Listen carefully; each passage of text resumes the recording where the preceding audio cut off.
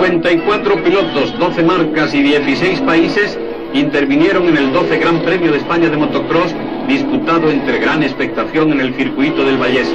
El duro recorrido sirvió para poner a prueba la pericia de los corredores y también para dotar la competición de una cierta espectacularidad. Conforme avanzaba el tiempo, las filas empezaron a clarear y a quedar definidas las distancias entre unos y otros. En la primera manga, el norteamericano Jim Pomeroy consiguió el primer lugar, mientras que el germano occidental Hank Mais debió conformarse con un prometedor cuarto puesto. Puede afirmarse que ambos deportistas fueron los verdaderos animadores de la prueba. Mais, en la segunda manga, volvió por sus fueros llegando en primera posición. El resultado fue un empate a cinco puntos entre él y Pomeroy, pero el cómputo de tiempos dio la victoria al alemán, que se proclamó vencedor con un tiempo de 1.32.46.